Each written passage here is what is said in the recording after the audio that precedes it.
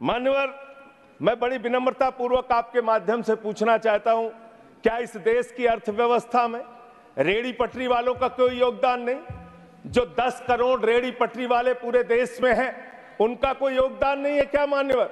वो भी सरकार को टैक्स भरते हैं।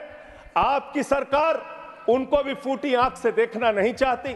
आपने रेड़ी पटरी वालों को कहा, अपने नाम के आगे नेम प्लेट लगाओ, अपने नाम के आगे नेम प्लेट लगाओ। हिंदुओं की मुसलमान, दलितों के पीछे आदिवासी हो। क्या हो ये बताओ? मैं पूछना चाहता हूँ, आपके माध्यम से सरकार के कहना चाहता हूँ मानवर अगर नेम प्लेट लगवाना है तो लगवाइए गले में नेम प्लेट। नीरव मोदी के गले में नेम प्लेट लगवाइए कि बीस हज़ार करोड़ रुपए हिंदुस्तान का वो बाकी है। लगवाइए नेम प्लेट, दस हज़ार करोड़ रुपए विजय माल्या हिंदुस्तान का बाकी है। लगवाइए नेम प्लेट गले में। ललित मोदी के कि तीन हज़ार करोड़ रुपए हिंदुस्तान का लूट के भाग गया।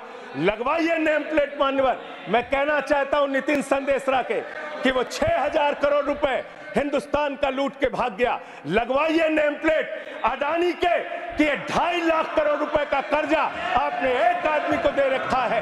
लगवाइए नेम प्लेट उन पूंजीपतियों को जिन्होंने हिंदुस्तान की बैंकों को खाली करने का काम किया मानवर।